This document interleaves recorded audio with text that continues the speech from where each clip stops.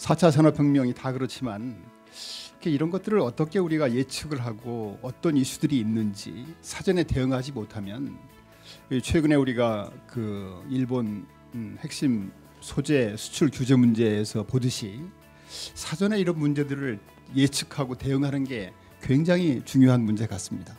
미래 모빌리티에서 어떤 변화가 있을지 또 어떤 어, 이슈들이 있는지 선진국들은 또 어떻게 대응을 하고 있는지 우리는 뭘 어떻게 해야 되는지 어, 그런 것들을 진지하게 고민하는 자리가 아, 됐으면 합니다. 그 미래 자동차가 등장을 하면서 어, 굉장히 그 아, 변화가 빠르게 아, 진행되고 있습니다. 가장 큰 변화는 아, 세 가지로 보입니다. 그러니까 인프라의 변화가 급격히 일어나고 있다. 아, 전기 자동차를 타면서 습관들이 아, 바뀌기 시작합니다. 공유 어, 차가 등장을 했습니다. 그래서 이제 자기 차를 아, 소유하지 않고 이제 피, 필요할 때 아, 차를 빌려 타는 그러한 소유 문화가 아, 많이 아, 확산되고 있다 이렇게 설명드릴 수 있겠습니다.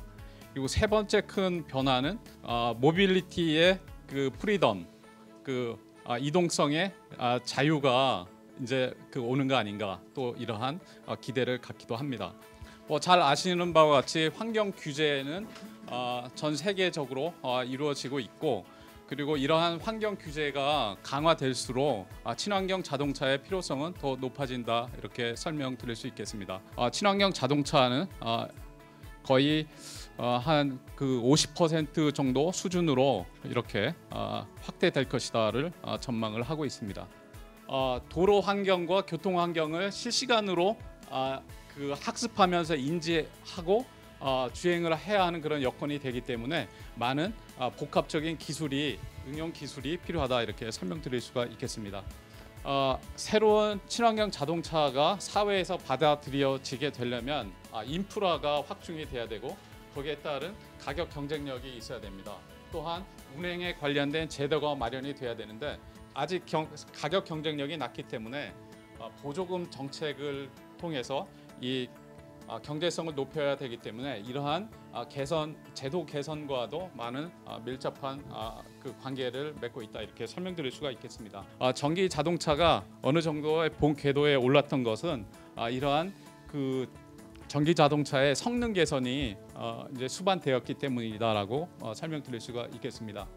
어, 자동차와 대비해서 수소 자동차가 갖는 경쟁력은 어, 굉장히 어, 좀 있다라고 판단이 되지만 아직까지는 작년 기준으로 봤을 때는 보급 대수는 그렇게 어, 크지 않은 것을 볼 수 있고 어, 자율주행 자동차가 사회적으로 이제 받아들여지려고 하면 제도가 마련이 돼야 되고 사고가 났을 때 책임 관련된 어, 그런 어, 그 법이 아, 정비가 돼야 된다는 것을 볼 수 있습니다.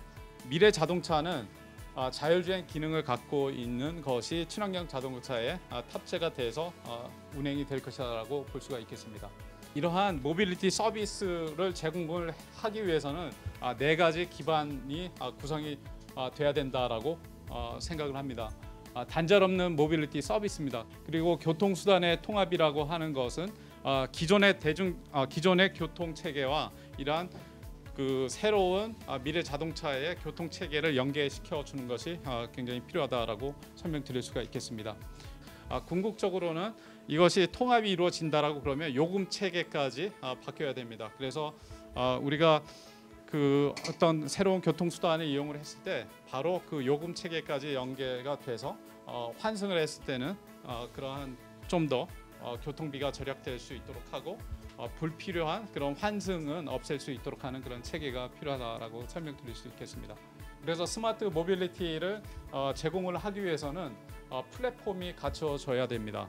그 자동차 기술이 실제 mobility의 어, 서비스로 연결이 돼야 되고 그렇게 하기 위해서는 어, 인프라 확충이 필요하다라고 저희가 전망을 합니다. 그래서 어, 그 부분을 저희가 physical 인프라, 디지털 인프라, logical 인프라로 이렇게 구분을 해봤는데 이러한 세 가지 유형의 인프라 확충이 아, 필요하다는 것. 정부나 공공기관에서는 교육 홍보를 통해서 어, 이러한 그 활동을 적극적으로 펴나가야지 어, 자율주행 자동차를 포함한 미래 자동차의 수용성이 어, 개선이 될 것이다 이렇게 전망하고 있습니다.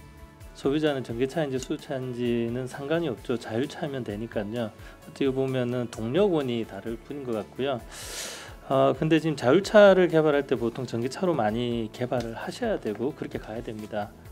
뭐 미래에는 전기차, 수차, 제로 비이클이기 때문에 가는 게 아니라 생산부터 소비, 그 다음에 재활용까지를 다 보고 난 뒤에 아 개선 가능성이 있다.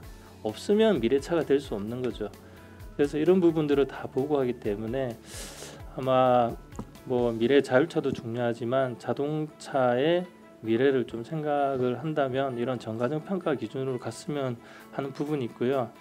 자율주행 자동차랑 전기자동차는 약간 다르게 볼 수 있는 부분인 게 정- 자율주행 자동차는 자동차 회사가 고부가 가치로 자기네가 이윤을 낼 수 있는 부분이기 때문에 그분들이 열심히 가실 거고 그런 환경 속에서 그 환경을 보다 많이 잘 만들기 위해서 인프라에 대한 중요성을 많이 얘기하실 음, 내용들이라고 생각이 든다라면 전기자동차는 사실은 이 규제라든지 이런 어떤 정부 정책적인 부분이 같이 가지 않으면 제가 봤을 때는 가지 않을 부분이라고 보고 있거든요.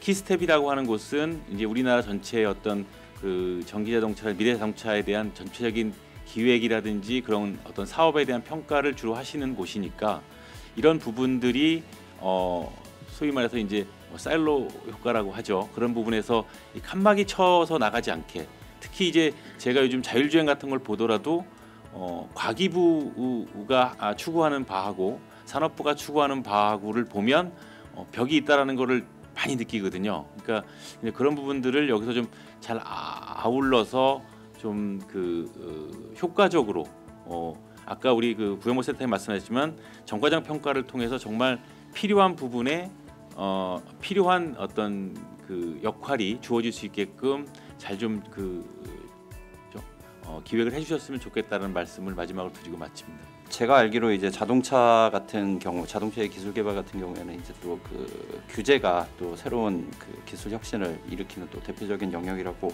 그렇게 알고 있는데 그래서 미래차 관련해서 이제 앞으로의 정부 연구 개발은 아무래도 완성차보다는 하부 구조, 그 부품 소재 이쪽을 좀 더 그 경쟁력을 가질 수 있게끔 어, 지원을 하는 방향 이 바람직할 걸로 생각이 됩니다. 시스템 안에서 미래차 뭐 이런 그 수소차 이런 쪽에서는 관련된 그런 그 어느 정도 기반 연구를 진행을 하면서 그 R&D 사업들을 좀 준비를 해 나가는 그런 노력들을 하고 있습니다.